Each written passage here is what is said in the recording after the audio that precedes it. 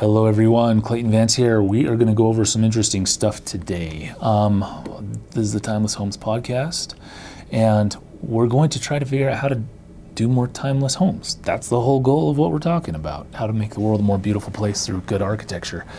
And I've run into some, um, just some of my own projects recently that I went and looked at, and there, man, there's still a lot of issues. And the issues that uh, come from general contractors hiring subcontractors who aren't honestly and if you're a subcontractor who's not as skilled as you ought to be or competent as you ought to be please please just pursue competence and just get better at your craft and become a real craftsman.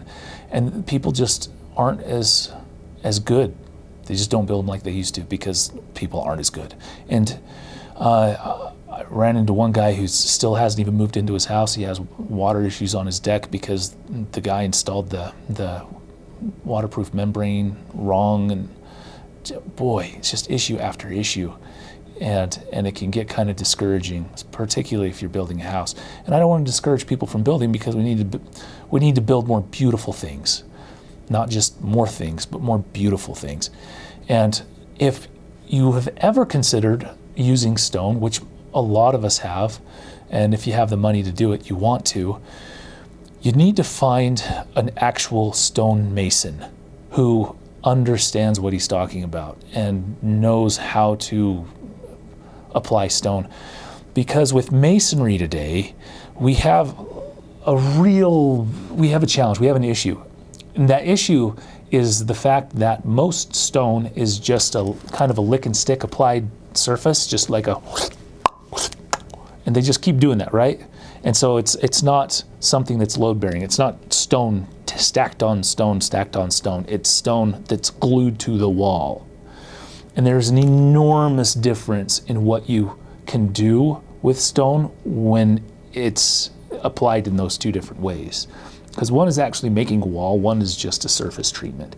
And so on the surface treatment, you can do whatever you want to. The problem with whatever you want to do is it doesn't look like masonry. It doesn't look like load bearing masonry. And that's one of the visual games that we're playing and trying to create more beautiful things is making sure that masonry actually looks like masonry. If you have an arch, if those stones were actual load bearing stones on top of each other, and there was a whole bunch of stone on top of that stone, could it stand up without any of the actual structure it stuck to? If you took all of the structure, all the actual um, engineering items, the wood, the steel, whatever, holding it up, could it still stand up? That's, that's the real test. And I remember one contractor laughed when I said that, and that's kind of the status of, or not the status, but the state of most the building kind of culture today is uh, when, when I said we want to apply the stone in a way as if it was holding itself up, because that's what we want it to visually look like, is actual real masonry. And the contractor, well, it doesn't hold itself. And he just laughed at me. I'm like, are you freaking kidding me? Really? Okay. So we really don't care. No one cares. I care, and you care, because we don't want to be paying some guy $100,000 to put stone up really bad. In, my, in the area where I am, I mean, there's literally one company that I've been able to find that I would trust to actually do a real legitimate job in terms of a masonry thing.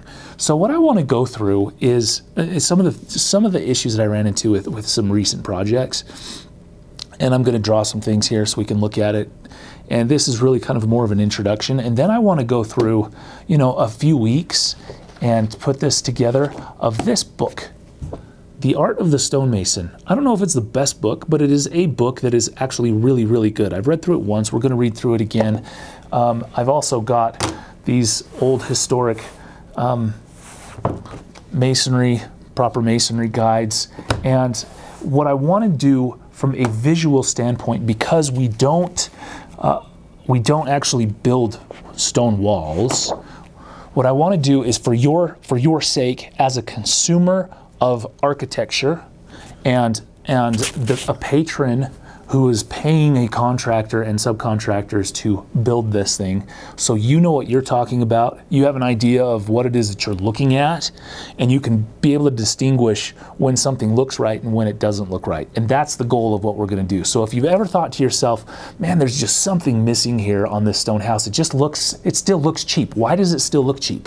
We're going to go through those issues and, and, um, how to, how to uh, properly apply stone if that's all it's going to be is just an application. So let's go through a couple things right now uh, that, that, I run into over and over and over again. It primarily has to do with fabricators and precast uh, stone details with fabricators. What I mean by precast stone is when um, you have a concrete mixture or some sort of mixture that's poured into a mold, and then that's what you get is the the product that comes from that mold, and and that's different than a dry cast, which is a product like Haddonstone, which is also really cool. And so they pack in dry stuff, and there's a, some adhesion that uh, makes it all kind of glue together really well, and it's steam cured. And that's a pretty cool product too. But most of the time, the cheapest way to go is a precast. And and these guys just have these standard molds that they do, standard thicknesses. And it's unfortunate because on a recent house that I did, I had called out on the plans for a full bed masonry. And what a full bed masonry is, is a, um, a four inch thick, kind of the same depth as a brick. And, but it's just, it's expensive. It's really expensive. And so most people, when they want to do stone, opt out for the cheaper version, which is just a thin veneer, which is only an inch and a half, inch, inch and a half, two inches thick. That's just a lick and stick rather than a full veneer. Holds its own weight, and it's it's applied more like brick. And and so what happened with this particular house is that the contractor never told the fabricator of the lintels, the, which is the th piece that goes above the window, never told them that, hey, by the way, we're going to do a thin veneer rather than its giant, um, rather than what was supposed to be a full bed masonry, which is a much thicker thing, and it gives you the depth in the window, so it actually looks like a real masonry house. And so when we got the the um, precast stuff in. I, I was never given the shop drawings, which was a bad on the contractor's part, so I couldn't uh, see what was going on. And I went to the job site, and all of a sudden, all this stuff was there. I'm like, hmm, that's a little bit thick relative to what you decided to do with the stone. And so now the the the lintels stick out from the wall, you know, like two and a half, three inches, rather than it was supposed to be flush with the face of the wall. And that is one of the primary reasons why things look like they're lick and stick and fake is because the proportional relationship of the face to the face, of the face the precast or material or to the to the stone is is so historically off that it would never be installed that way if it was an actual masonry building and we have this kind of this subconscious thing like oh yeah that just it feels right. But we don't know why. And i'm just pointing that out to you. So uh, now you actually know why. And that and that's one thing to look for when if you're building a house or if you're a stonemason or wh whoever's installing this stuff for a general contractor it's one thing to watch for. The other thing to watch for with these precast guys which I think it's a fine product, it's a great product, is they put their joints in the wrong spot. If I have a window and an opening like this, what, you, there's there's a, a lintel that goes above it, and that lintel is typically embedded into the the adjacent stone one to two to maybe three inches and then depending on the actual design of all of this stuff it may be embedded more but not not really. If you're using a wood lintel then that's embedded a lot further because the tensile strength is generally thinner and a lot deeper, but that's for another discussion. But for a stone lintel or a precast condition, it's going to be embedded into the stone a little bit. And I there's another project I'm working on right now, and the contractor just is not as astute as he ought to be, and he put the lintel in this condition right here. Now tell me how, you'll have to look at what I'm drawing. What I've got is the lintel directly above the opening. Tell me how a lintel is supposed to be holding any of the weight of all of this stuff above it if it is the same width as the opening it's above. It would just fall. It falls because it's not resting on anything. And, and, and the fact that the contractor didn't get that memo, I don't understand that. I do, and the, the, the precast guy, the fabricator, I don't understand.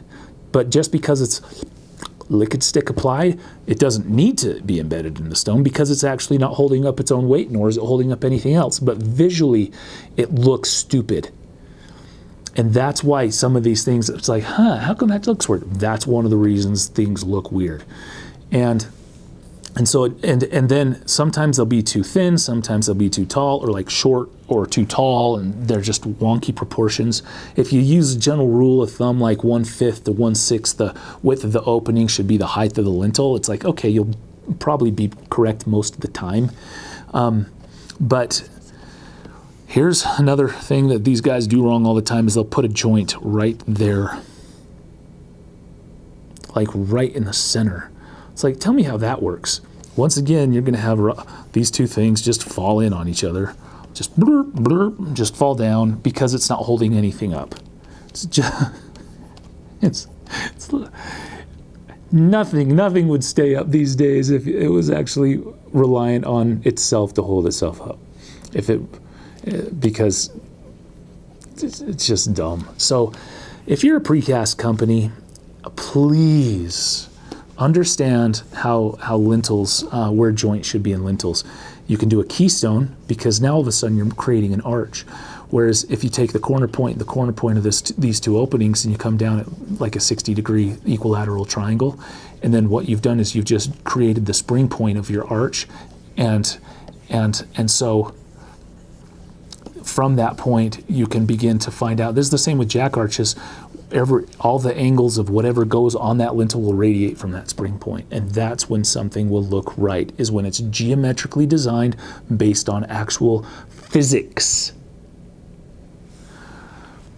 But because we're not limited by physics anymore, apparently, because they're just applied things, boy, that is where we just go wrong over and over and over and over again. And, and it just looks cheap. But those are those are a few just really common errors that I run into just over and over and over again um, when people are doing stone applications on houses that I just can't seem to I just can't seem to get over uh, the hump with these these subcontractors. So join us as we continue down a journey down the art of the stonemason and, and look at the visual, um, visual results of the actual um, applied stone as if it were a full stone building or stone wall. Uh, and then that will give us all of the all of the visual richness that we need. And if you're using a thin veneer, double frame in your windows and recess that sucker so it doesn't look like the stone is only that thick. If you can double frame in your windows, you'll you mess up your sills and everything on the inside, but from the outside it won't it, it won't look cheap because when you have windows and stone all at the same plane, it's just an, another one of the reasons houses look way cheaper than they should.